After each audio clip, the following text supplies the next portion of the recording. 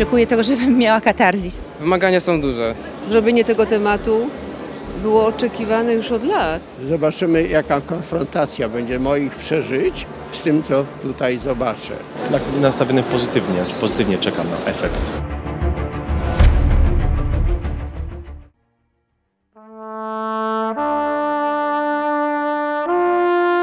Ja i moi współpracownicy kreśliliśmy plany. Robiliśmy szkice wielkiej Warszawy przyszłości. Nie za lat 50, nie za 100 lat, lecz dziś widzę wielką Warszawę. Warszawska tożsamość i tożsamość ludzi utwardza się, rośnie w siłę.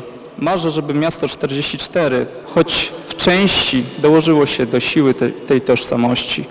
Jestem szczególnie szczęśliwy i tym bardziej zaszczycony, mogąc stać tu przed Wami, e, powstańcy warszawscy.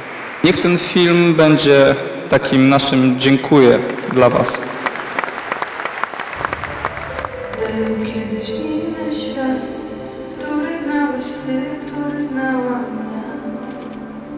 Mnie generalnie wszystko poruszało i przerażało. Wszystko, bo miałem taki problem z przekonaniem samego siebie, że, że dam radę. Cała historia mojej bohaterki jest na pewno bardzo poruszająca, choć ona też przeżywa bardzo ciekawy proces. E, bardzo się zmienia, odkrywa w sobie inne wartości e, dzięki, dzięki temu, że poszła do powstania. Kapitan Czarny, obrońca Czerniakowa. Facet, który zostaje do końca na stanowisku. Jest po prostu talibem.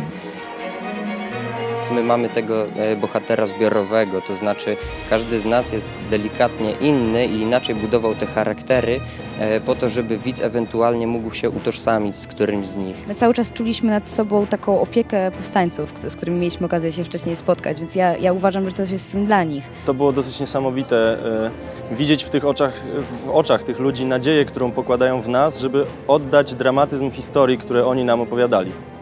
Film jest za 24 miliony złotych. Zatrudnianie ludzi, którzy nie mieli, jaki, nie mają jakiegoś doświadczenia jest ogromnym ryzykiem. To jest tak zaskoczenie dla wszystkich chyba pozytywne, że oto na, nagle może, jak ci młodzi ludzie będą chcieli, może jesteśmy świadkami jakiejś fali młodych twarzy, no, no, nowych młodych aktorów w polskim kinie i w polskim teatrze.